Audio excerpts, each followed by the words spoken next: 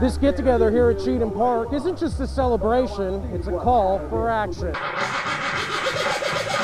Music and barbecue filled the air Sunday afternoon. A voter registration tent lied at the center of this mini festival at Cheatom Park, a celebration of Governor Kim Reynolds' move four days before, restoring voting rights to most Iowans convicted of felonies. We can vote now. It's a big deal for people like Edward Young.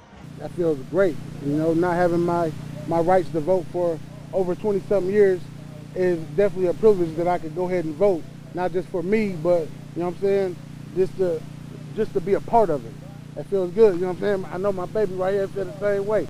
The governor's executive order ended Iowa's status as the last state with such strict restrictions that disproportionately impacted Iowans of color.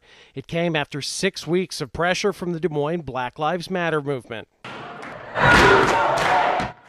It's a fight Robert Pate had taken on for years. He leads Inmate Movement Against Gang Evolution, or IMAGE, which put on Sunday's event alongside the group Dads with a Purpose. We just want people to kind of get involved and kind of know their rights, mingle, and, and, and come together with some camaraderie.